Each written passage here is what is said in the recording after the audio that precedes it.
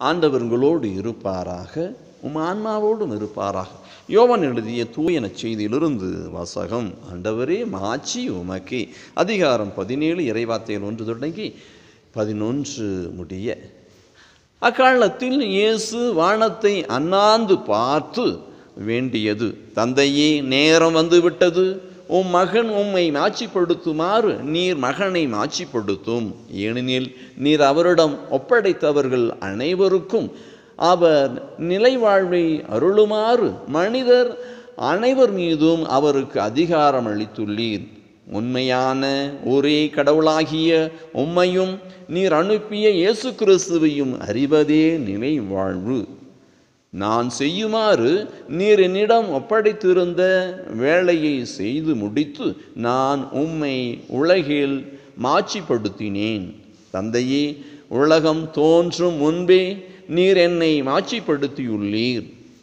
இப்போது உம் திருமுன் அதே மாட்சியை எனக்கு தந்தருளும். நீர் உலகிலிருந்து தேர்ந்தெடுத்து என்னிடம் ஒப்படைத்த மக்களுக்கு நான் உமது பெயரை வெளிப்படுத்தினேன்.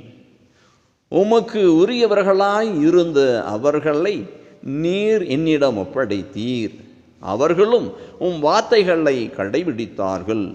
நீர் எனக்கு தந்தவை அனைத்தும் உம்மிடமிருந்தே வந்தவை என்பது இப்போது அவர்களுக்கு தெரியும்.